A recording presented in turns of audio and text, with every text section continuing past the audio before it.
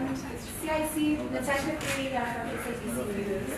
Um, so on Tuesday, the ANC Women's League said that government is lukewarm um, in regards to dealing with matters of gender-based violence.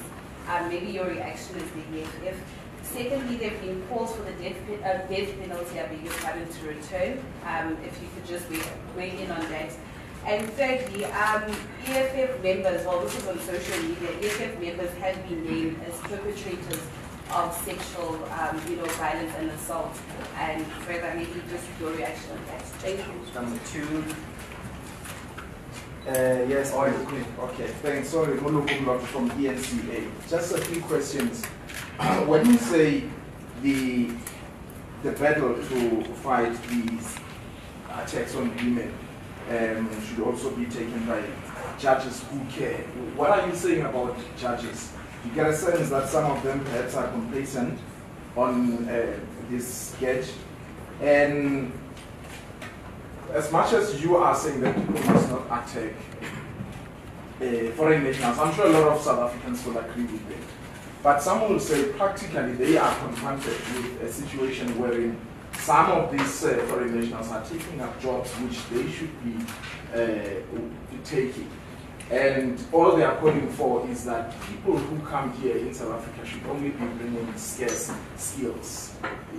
What's your position there? And the when you say the battle must be taken to the people who control our lives, um, how should that battle go out?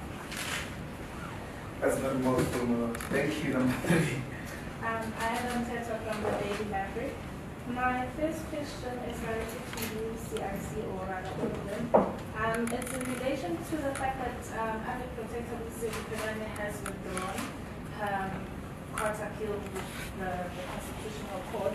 I want to know what are your reactions to that and why is it that the economic freedom fighters are still pushing for that even though um, Cecile Mkhwebane has withdrawn? Don't you think that maybe it might come across as, as some people have said that um, this is being used um, as a political tool or you are fighting political battles in this situation? Also, um, president, the president has um, asked the Constitutional Court to um, do a full um, and open um, court hearing with regards to this specific situation. What do you have to say about that as well? Okay, number four.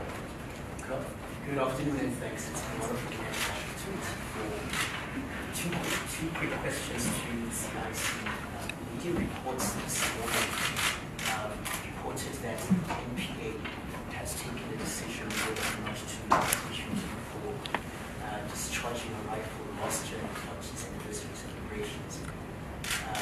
time, the party said that it was a toy gun and the shot coincided with sound fibers. Is this, do you still maintain that same position?